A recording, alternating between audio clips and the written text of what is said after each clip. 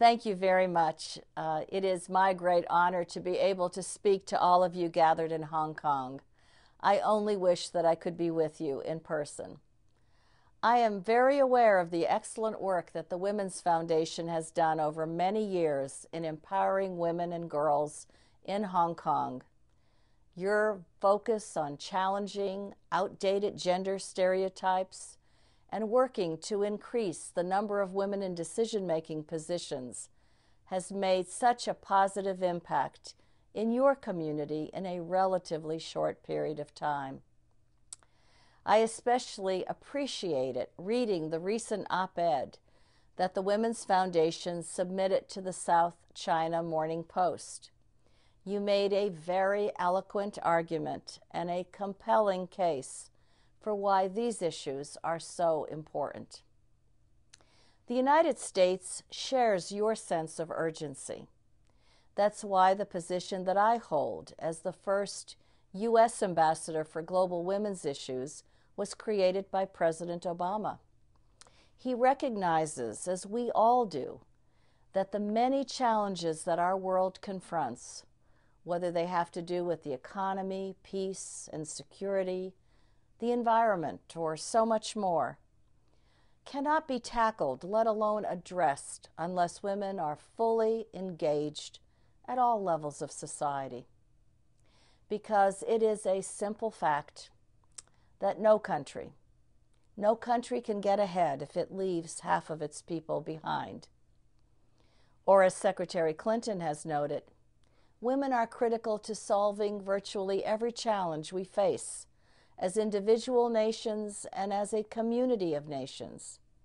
And until women are afforded their rights and opportunities everywhere in the world to participate fully in the lives of their societies, global progress and prosperity will have its own glass ceiling. For when women thrive, we all thrive families, communities, and countries men and women, boys and girls everywhere. Almost 16 years ago this October, the UN Fourth World Conference took place in Beijing. 186 countries signed onto a platform for action for women's access to education and health, to be free from violence, to participate fully in the economic and political affairs of their countries, to enjoy full legal rights. it is a blueprint against which we continue to measure our own progress to this day. We can all take satisfaction in our achievements, but ours is still an unfinished agenda. As then First Lady Hillary Clinton said in her address in Beijing, women's rights are human rights and we cannot settle for anything less. Today, we have a mountain of research and data that shows that investments in women and girls correlate positively with poverty alleviation and a country's general prosperity. According to the World Economic Forum's annual Gender Gap Report, the countries where men and women are closer to being equal in health and education, economic participation, and political empowerment. Those countries are also more economically competitive. The World Bank recently released the Women's Development Report, a significant study on gender equality, which notes that gender equality is a core development objective in its own right. It is also smart economics. It can enhance productivity, improve prospects for future generations, and make institutions and societies more representative. Women run small and growing businesses are known accelerators of economic growth. Yet it is calculated that the Asia Pacific region is shortchanged in excess of $40 billion a year in GDP because of the untapped potential of women. Over $40 billion. How can we continue to afford to shortchange half of our populations, to shortchange our economies or to shortchange opportunities to create a better life for all.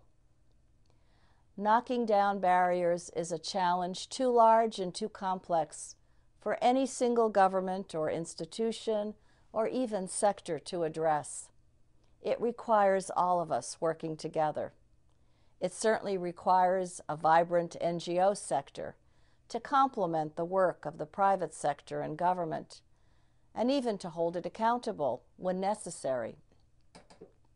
The Women's Foundation is serving as a leading voice and dynamic force for women's and girls' advancement, whether in teaching financial literacy to low income women workers, providing experienced mentors in business to enable young women to improve their entrepreneurial skills, or helping girls transform their struggles into art through short films.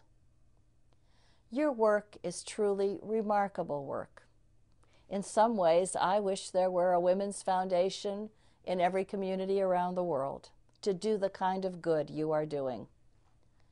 And I was especially grateful that representatives of the foundation were able to participate in the recent APEC Women's Entrepreneurship Summit that was held in San Francisco. Government ministers, high level private sector representatives, and civil society leaders came together from across the Asia Pacific region to identify ways to strengthen women's economic participation and in the process to grow economies and we were so pleased that your president, Su-Mei Thompson, was able to be with us. She also served as an excellent moderator of one of the important panel discussions. It was at the APEC summit that Secretary Clinton made an address in which she referred to this time as the beginning of what she likes to call the participation age a time when everyone, regardless of gender or circumstances, is poised to be a valued and contributing member of the global marketplace. Hong Kong is justifiably recognized as not only the most business friendly city in Asia, but also the financial center of the region. And the Women's Foundation is a recognized leader in advancing the progress of women and girls both in the economy and every other way as well. You are making a profound difference.